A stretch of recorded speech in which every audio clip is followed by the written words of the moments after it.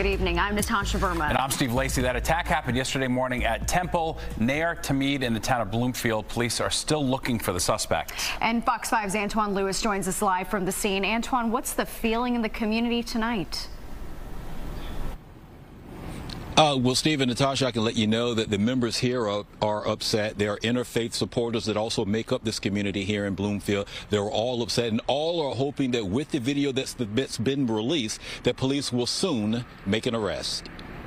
It was around 3 a.m. early Sunday morning when Bloomfield authorities say this man approached Temple Ner Tamid, lit a Molotov cocktail, and threw it at the synagogue. I just feel sad for the person that at 3 in the morning they have nothing better to do than to try to destroy or damage a structure. Officials say Temple members found the device later that morning when they arrived and called the authorities right away. I'm still a little shocked and um, very angry about the situation, how um, somebody with this much hate can bring uh, negativity and hate into our community like they did. The device did little, if any, damage to the synagogue, which temple officials say is mostly because of protective measures like shatterproofing windows and doors that were put in place a few years back after the protests in Charlottesville and the synagogue attack in Pittsburgh. Thankfully, we got a grant from the Department of Homeland Security that allowed us to harden our building a bit, um, and we're going to continue to keep upgrading and just making sure that our building and our people remain as safe as possible. Shatterproof doors and cameras and alarm systems and security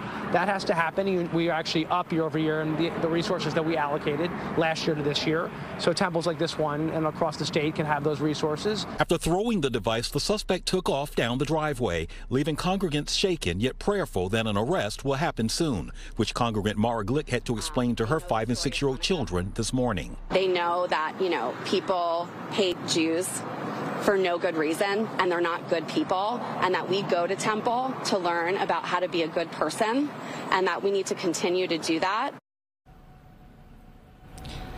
We want to give you again a look at this alleged vandal that police are trying to track down. And we also want to let you know that the Essex County Sheriff's Office, their Crime Stoppers program, is now offering $10,000 for any information that will lead to an arrest of this individual. And as you come back to us live, state and federal authorities, including the FBI, are investigating this matter. Natasha? Antoine, thank you.